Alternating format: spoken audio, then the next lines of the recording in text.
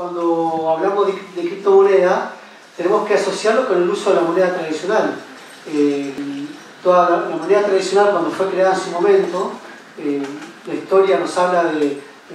las primeras monedas cientos de siglos antes de Cristo, siempre han cumplido ciertos requisitos. La moneda, en primer lugar, tiene que ser emitida por, por una persona que diera confianza en el público, es decir, el señoraje, la facultad del emisor donde tiene una moneda, constituía la herramienta básica para que después el público la aceptara. No es lo mismo que Adolfo Safran emita un papel, que eh, vaya después eh, cualquier persona un comercio a querer canjearlo, que nadie lo va a recibir, que lo emita una persona, un sujeto, que da fe y que genera confianza. Eh, muchas de ellas tienen su respaldo en reserva, en, dinero físico o en, bienes reales. Y otras criptomonedas no tienen reserva 100% en bienes, sino reserva parcial, como hoy ocurre con algunas monedas, con la gran cantidad de monedas que hay en circulación en el mundo. También hay que trabajar sobre las llamadas eh, criptomonedas estables, ¿no? de que tengan un piso y un techo en su valoración para que el, público, el comerciante, no se vea perjudicado por las fluctuaciones de su valoración. Creo que tenemos como disertantes a, profesionales que no son teóricos, sino que han ya, eh, nos, van a, a, demostrar, nos van a explicar cómo han puesto en marcha eh, diferentes eh, criptomonedas en diferentes lugares, con, lo cual su experiencia nos puede ser muy útil para la jornada de hoy, así que realmente le deseo que pueda ser muy provechosa para todos nosotros. Muchas gracias. En primer lugar, eh, quiero agradecer brevemente al ingeniero Rovira, que ha sido quien ha impulsado desde el inicio y acompaña de cerca esta propuesta. También al equipo de trabajo que ha hecho este evento posible. Estoy refiriéndome a Gustavo Turqueni, el Fondo de Crédito Misiones, a Lucas Romero Spinelli, Alberto Penayo y Tomás Lawson que hacen el equipo organizativo y por supuesto a todos a los disertantes que han llegado desde distintos puntos, no solo de la provincia, sino también de Brasil, como es el caso de Iván. En segundo lugar, quisiéramos destacar para todo el equipo de trabajo, también para quienes están aquí en la mesa presente, que puede que, que este momento para nosotros constituya un punto de inflexión en la temática de las criptomonedas y de la tecnología blockchain. Algo que si bien ha nacido en el mundo allá por el 2009 con este famoso paper de Nakamoto, eh, y que al principio generó algunas incertidumbres cuando a mí me preguntaban por entonces qué opinás de las criptomonedas, si es especulativo o no. La respuesta era, bueno, hay que esperar, veamos, estamos en un momento del mundo justo complicado, crisis del 2008, pero con el tiempo la tecnología blockchain ha demostrado que tiene un potencial enorme y un potencial que viene de la mano de algunas características básicas, de las cuales los disertantes van a hablar con claridad, que tienen que ver con la irreversibilidad de las operaciones, con las cadenas distributivas de los datos y de los archivos, con la trazabilidad de los procesos y que han demostrado ya y han presentado un primer producto, uno solo, que es el más importante que todos conocemos, que es la criptomoneda, pero que tiene otros, otras aplicaciones, aún algunas que no se conocen, los contratos inteligentes y otras que están por venir, y que sin duda constituye un desafío al que la provincia de Misiones hoy se sube, y se sube a partir de un programa, un programa que empieza hoy con esta difusión, con la sensibilización, con la puesta en común de estas nuevas tecnologías, pero que sigue, eh, y brevemente, eh, próximamente la vamos a estar dando a conocer, sigue a través de talleres de capacitación, para que podamos empezar a generar ingenieros que manejen la tecnología, administradores, economistas que también la conozcan en el plano de los negocios y que tiene como último resultado la aplicación y la puesta en práctica de nuestras propias herramientas eh, financieras y de contratos inteligentes. Desde el fondo de crédito en particular, por supuesto que nos interesa esta herramienta como potenciador de las actividades empresariales, de los negocios, de los comercios y también por su enorme potencial en, la mejora del impacto social y con Iván vamos a ver un poquito ya unos primeros acercamientos al impacto social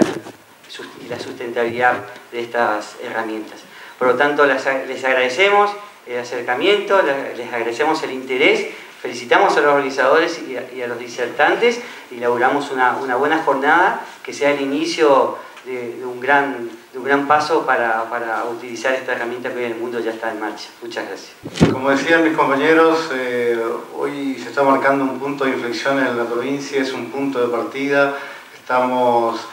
este, marcando un paso más en todo lo que va dando la provincia, lo que tiene que ver con, con tecnología, con TIC, con todo lo que da, nos tiene acostumbrado la provincia. Esta es una iniciativa del presidente de la Cámara, el ingeniero Rovira, y se ha conformado un grupo de trabajo que viene trabajando desde hace un tiempo para, impulsar todas estas temáticas y en especial esto que es el blockchain. Mucho se escucha de ese blockchain y hoy nos van a sacar muchas dudas seguramente los especialistas que se encuentran presentes porque se habla mucho de, de criptomoneda, pero en realidad esa es eh, la punta del iceberg porque la tecnología que permite posible a la criptomoneda, al Bitcoin, que allí esto toma este, mucha repercusión, tiene que ver con la tecnología del blockchain. Y la tecnología del blockchain no solamente sirve para criptomonedas, sino para llevar adelante contratos inteligentes, trazabilidad de, de productos, de medicamentos, como decía Horacio, son innumerables las aplicaciones que la podemos ir dando en el mundo de hoy, pudiendo certificar procesos, certificando identidades y la tecnología que viene a transformar, a revolucionar realmente es el, blockchain. Por eso es importante que empecemos a, hacer conciencia de esto que es una realidad, pero que recién empieza a, a dar pasos firmes en el, en el mundo. Desde Marandú Comunicaciones, que, que, hoy es el soporte tecnológico de, de la provincia, del Estado de la provincia de Misiones, se viene trabajando desde el principio de año con el blockchain, por eso les quiero comentar lo que estamos haciendo ahí desde la provincia. Marandú se convirtió en un nodo del blockchain federal argentina, que es un, eso fue a principios del 2000 19, Marandú se convirtió en uno de los 26 nodos selladores de la Argentina para el blockchain federal argentina. Y, de esa manera eh, somos uno de los, de los nodos que puede eh, agregar uno de los eslabones a las cadenas que se van generando en esta codificación de los datos que permiten la integrabilidad de los datos y la, y la certeza de la, de la, certificación. Se viene trabajando fuerte en, en ese sentido. Eh, hoy cualquiera de ustedes que ingrese a Blockchain Federal, que pueden ingresar a Internet, pueden sacar usuario, un usuario y pueden este, tener, como se dice, eh, o sea, eh, lo que tiene Blockchain Federal es que no está asociado a ninguna criptomoneda, está simplemente este, asociado a, un sistema de combustible que se le otorga a cada usuario para que pueda este, certificar lo, que quiera certificar. Cada uno de nosotros hoy puede entrar allí, puede sacar un número de usuario, recibir da, este, el combustible para empezar a hacer transacciones y poder eh, verla, eh, subir documentos o, contratos este, que permitan eh, validar la autenticidad de esos datos. Es algo que ya se puede ir haciendo y, estamos trabajando por eso desde la provincia ya en ese sentido, más allá de lo que es la, las criptomonedas, o sea que los invito a que empiecen a probar, ¿verdad? porque estas cuestiones, hoy tenemos disertantes que, que, más allá de la teoría nos van a hablar desde la práctica, porque tienen productos hechos, trabajados, que lo vienen este, elaborando este, día a día, semana a semana, y eso es lo importante de lo que vamos a escuchar, pero ustedes también pueden ir ya experimentando con, con lo que es el blockchain para los usos que se le puedan ir dando. El Blockchain Federal Argentina es una iniciativa de, de Bitcoin, de Cabase y de la Asociación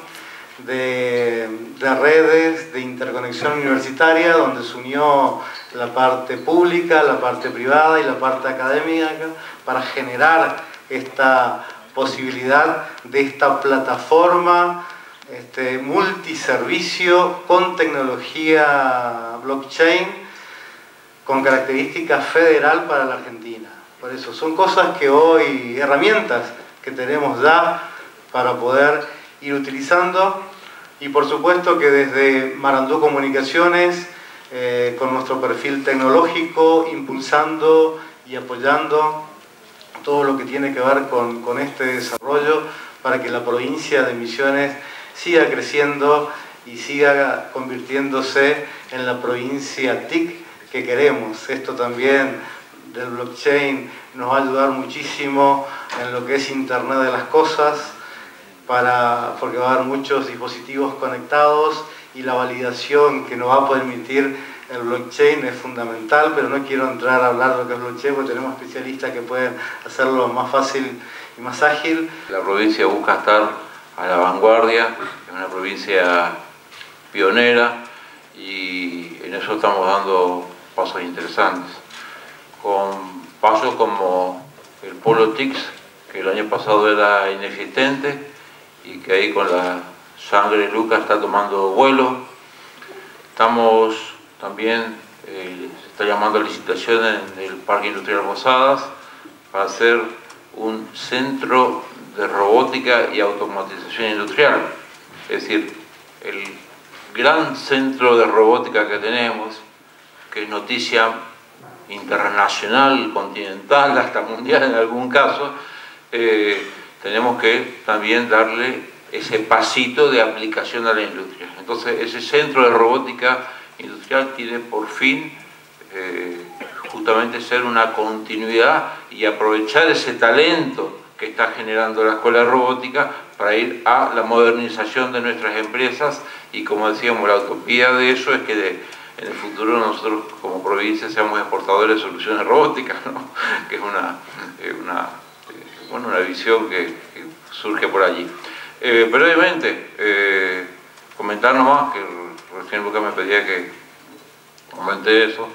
eh, nosotros, yo estoy acá casi como avalista de Iván, Iván Subilevich,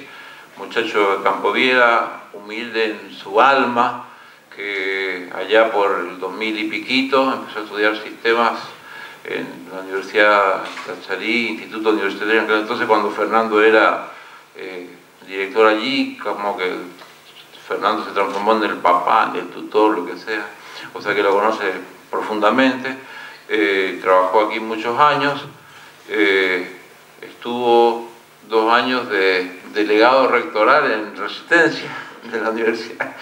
simplemente para mostrar el grado de confianza que, que hay hacia él hasta que se decidió casarse y el casamiento lo llevó a Brasil.